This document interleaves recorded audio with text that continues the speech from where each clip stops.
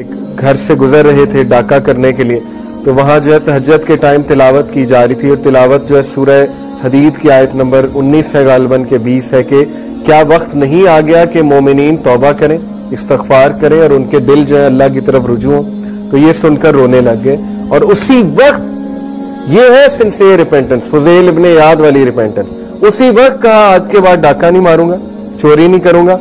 और उसी वक्त जो है, जो जो जिन लोगों का सामान लिया था रिटर्न कर दिया। यानी कॉम्पेंसेशन भी की। दिस इज़ रिपेंटेंस और उसके बाद कभी उस तरफ़ नहीं पलटे। उस गुनाह की तरफ़ जो है वो नहीं पलटे।